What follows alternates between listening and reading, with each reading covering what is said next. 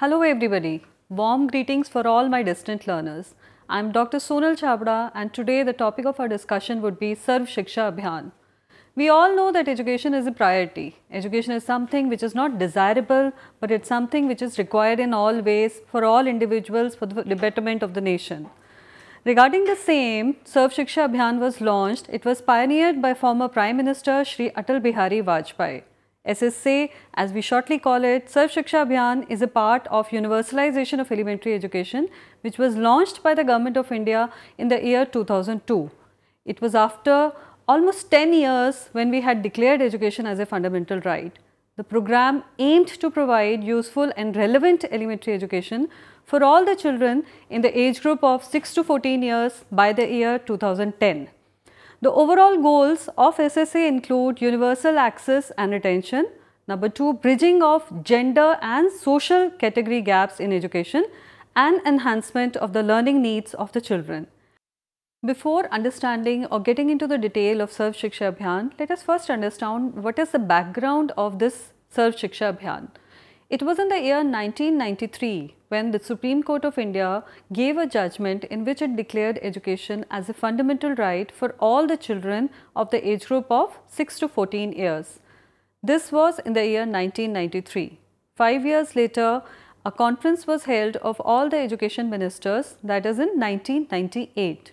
A national committee was then set up of all the education ministers under the chairmanship of HRD minister which was supposed to work on this report and they eventually submitted their report in the year 1999. So, one year after the committee was formed.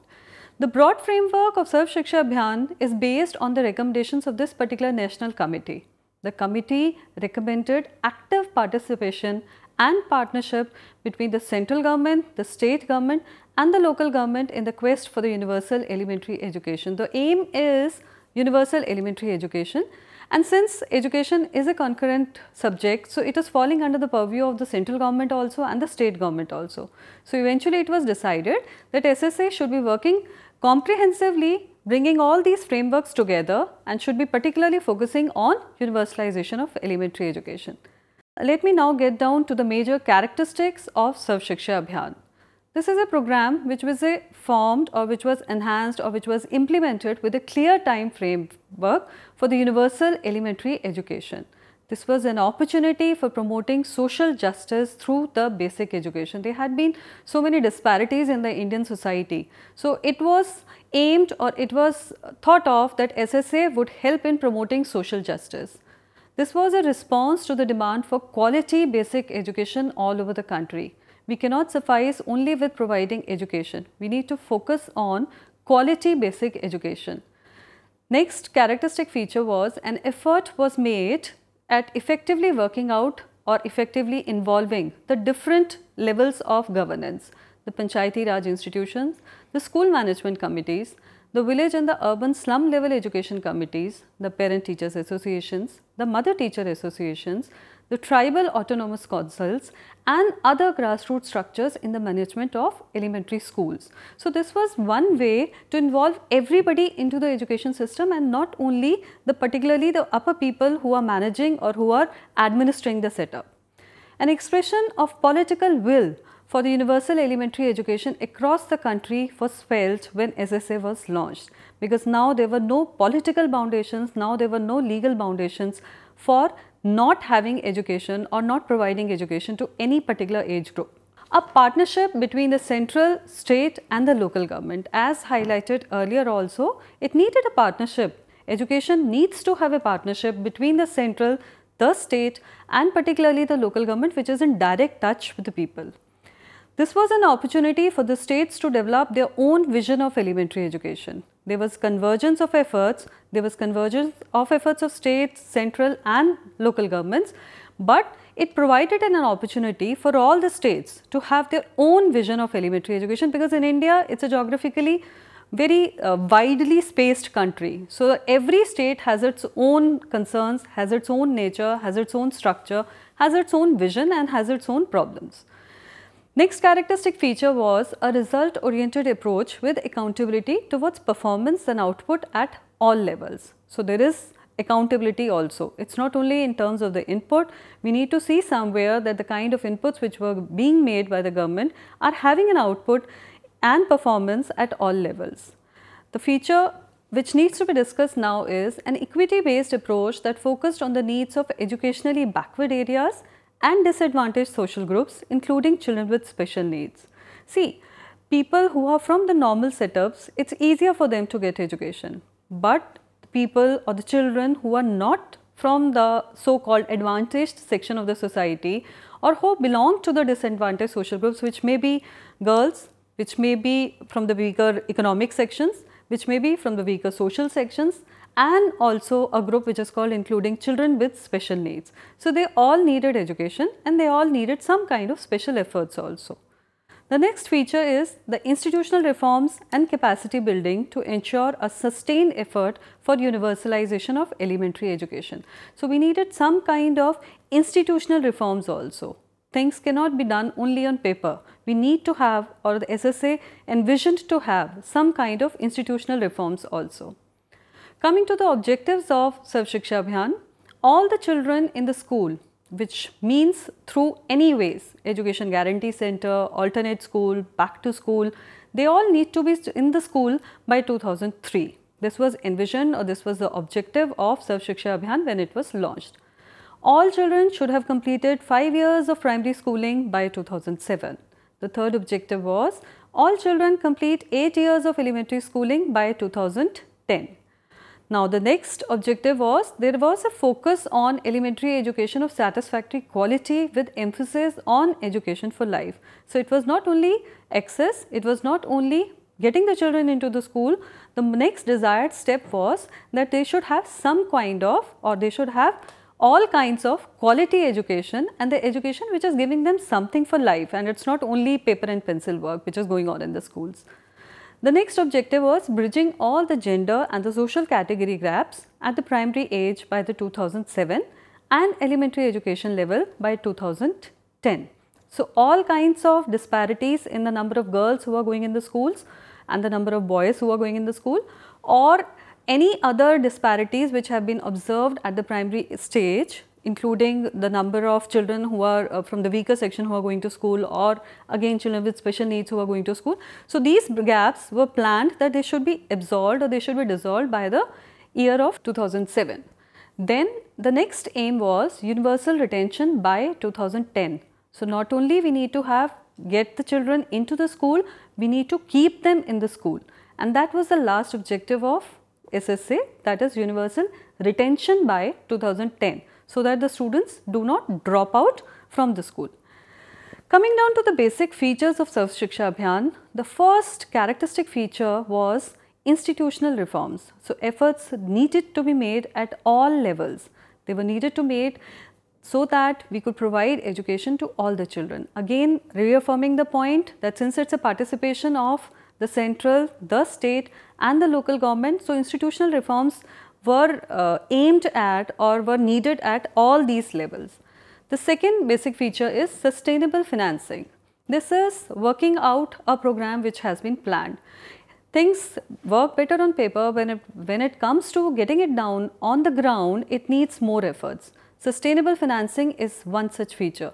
So, Initially, it was planned that the central government is going to put more money and the uh, share of the states is going to be less, but eventually it was planned that with the coming 5 year plans as the country is going to progress, as the states are going to get a bit better, so then eventually the states are going to have a better share as compared to the central government. The third is the community ownership. It cannot be that people from only the upper side manage the things. The top down approach won't go here.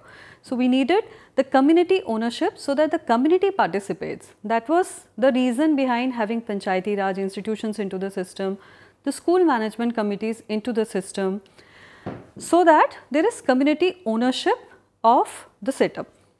The next basic feature was institutional capacity building.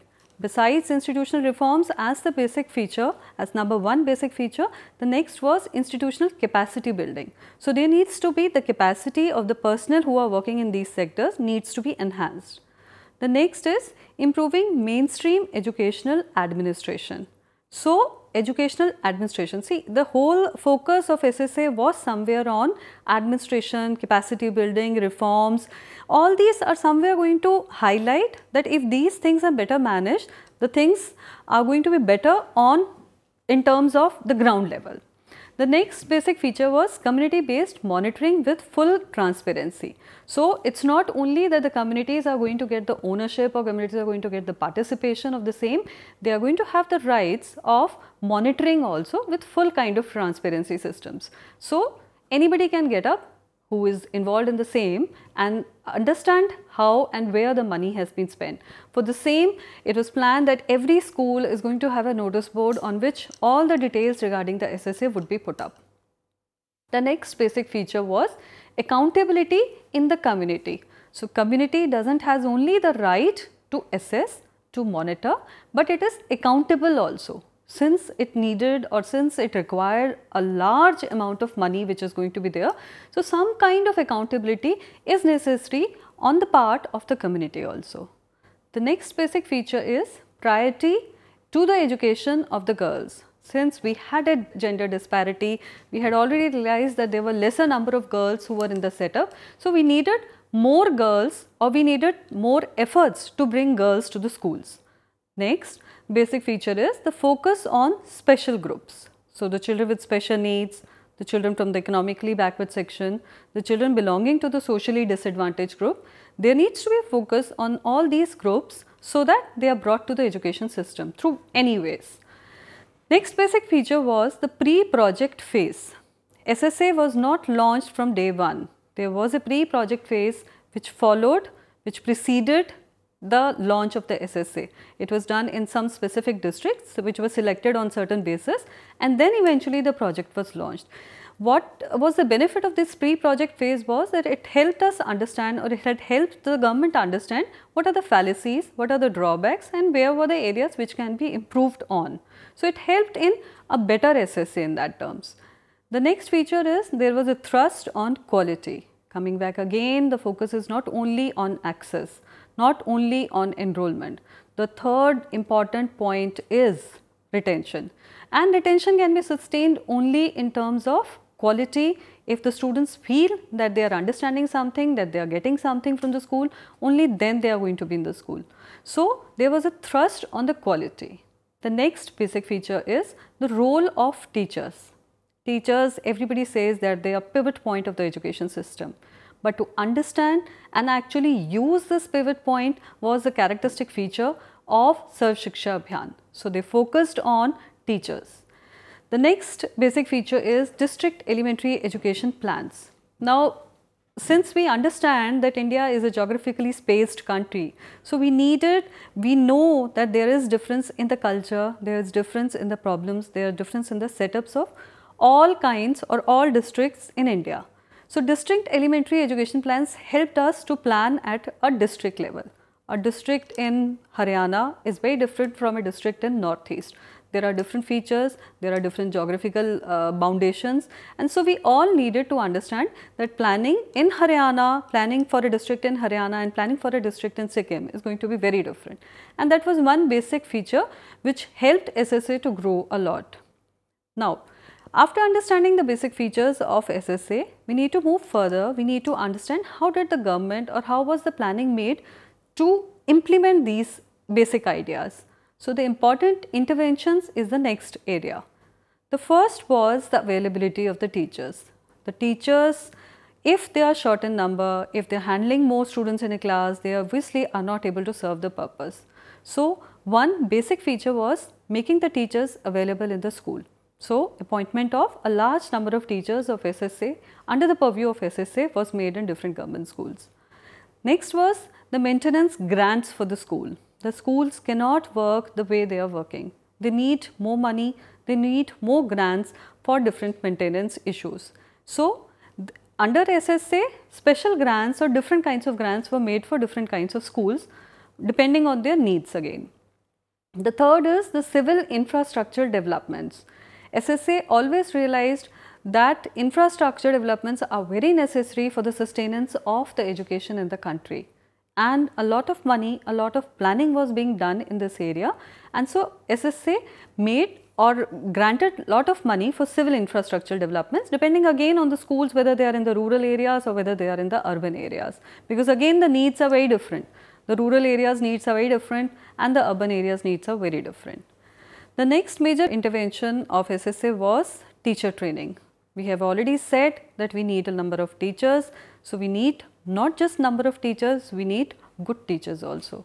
Now, understanding that teacher education in the country is in a very different shape, there were not many teachers who were trained. So, SSA talked about training at in service level also. So, they have special slots and they have made special arrangements for these kind of things and there is a lot of in service training which is going on for the teachers who are working in the area.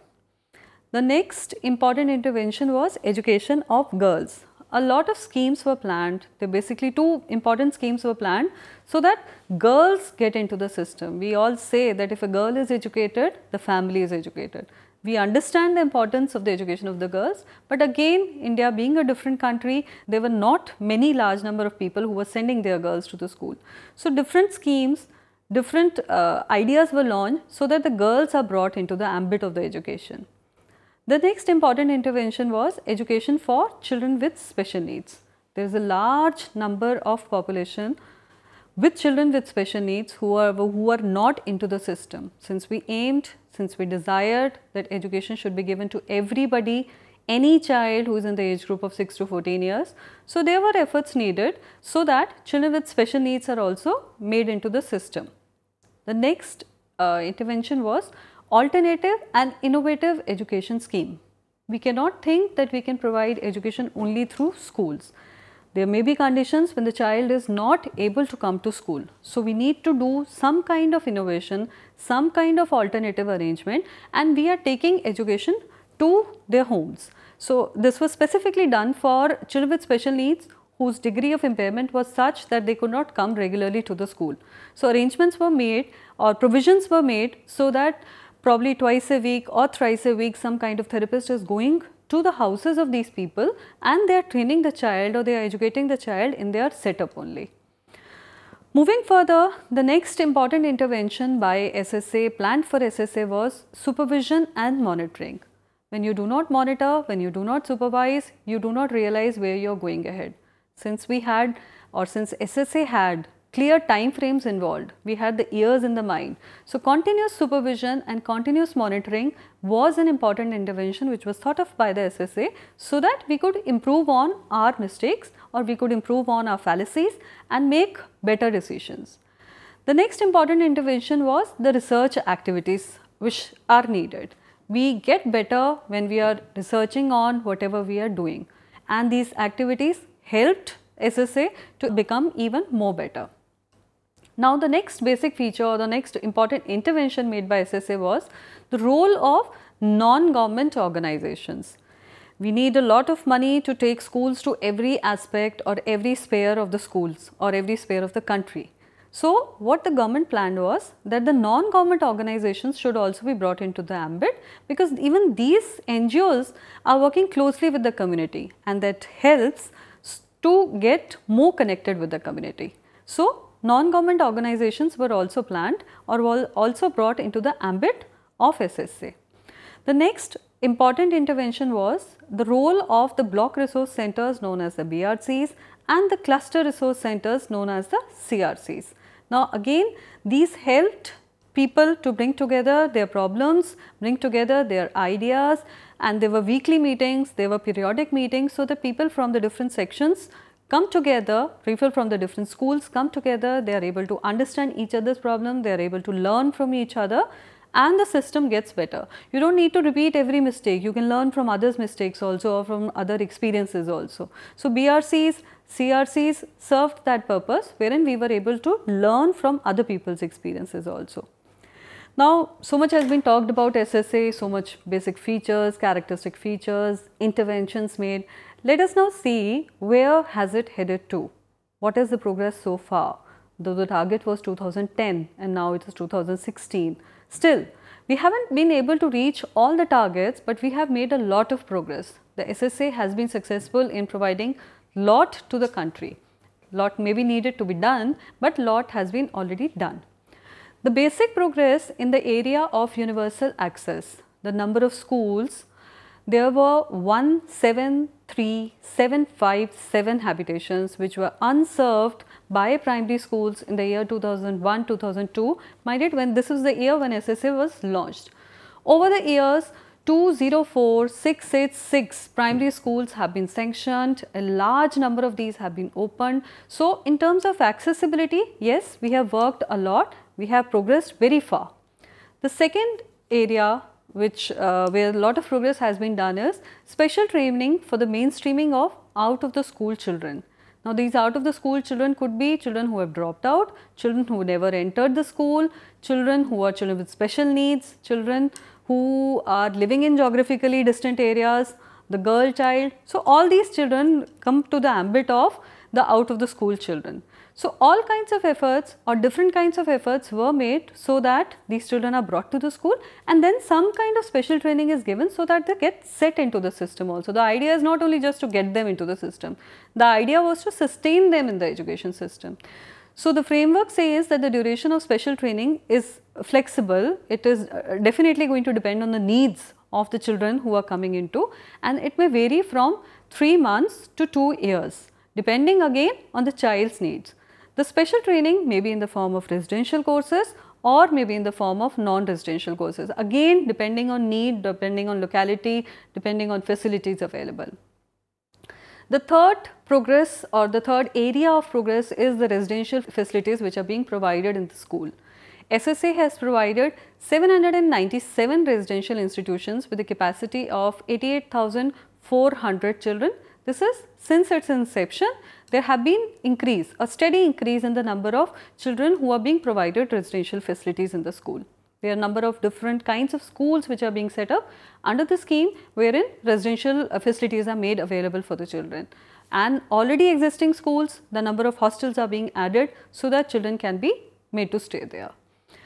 The next important highlight is all the states and the union territories have been supported, have been provided support for moving to an 8 year elementary education cycle by the year 2013-14.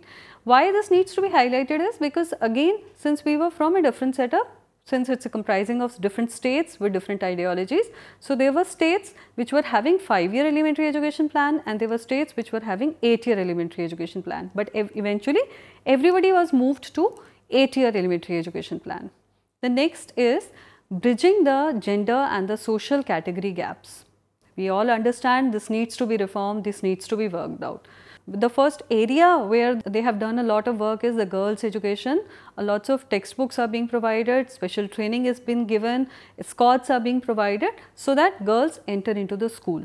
A special scheme was launched, Kasturba Gandhi Balika Vidyalaya and this scheme till the year 30th September till the date of 30th September 2014-15 3609 KGBVS have been sanctioned in the country enrolling almost 35 lakh of girls in the schools. So, that is a highlight or that is a feature which needs to be understood, that is a progress which needs to be highlighted because it is encompassing or it's bringing in girls to the system. The third area is which needs to be understood or which needs to be seen is removing of gender bias from the curriculum. Now, this was one area which discreetly works or which uh, covertly works and it does not let the girls enter the system or it does not let the girls stay in the system. So, number of efforts were made, curriculum were changed, adaptations were made in the curriculum and the girls were made comfortable so that this they do not feel this kind of gender bias in the curriculum.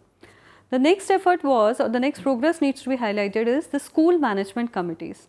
It was planned that to understand the problem of the girls, to bring more girls to the school, school management committees should have 50 percent of female members because it is assumed that females are able to understand the problem of the girls better as compared to the male members.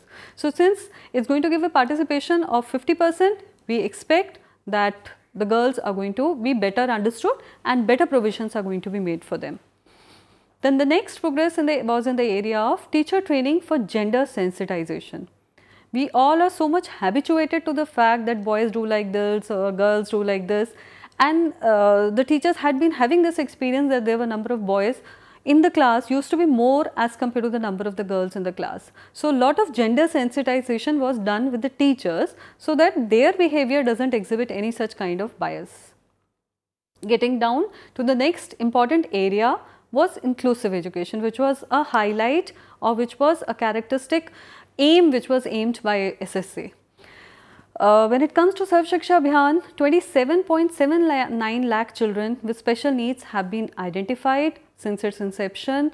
In all, almost 97.19 percent of the identified children with special needs have been covered through various strategies. The various strategies could be getting there, getting down to their homes, bringing them to the school, both ways.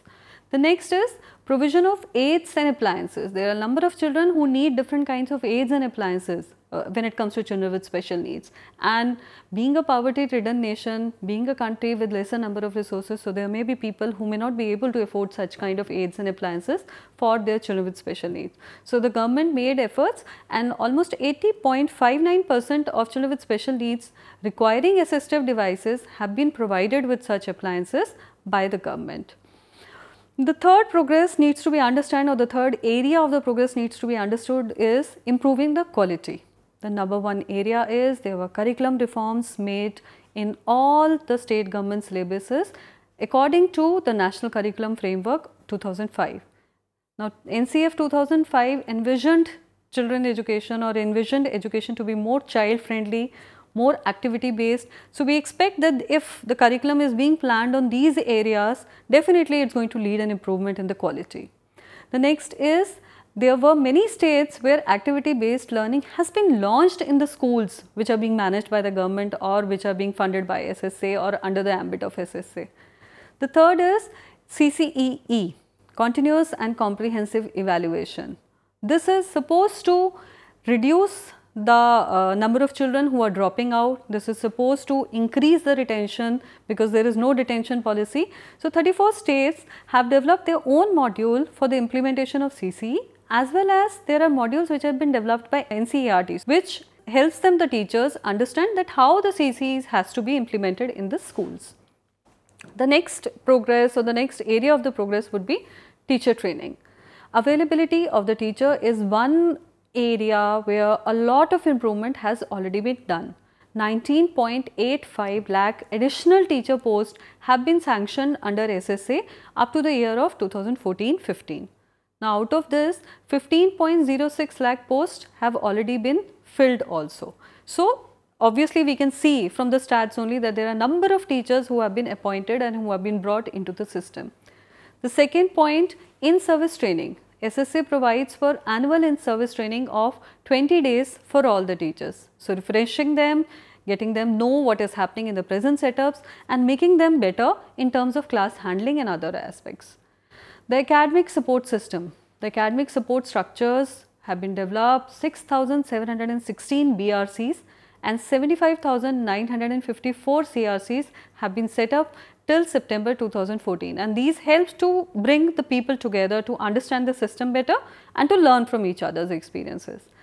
The next is the computer aided learning. Technology is the key point in understanding or in making the education reach out to people.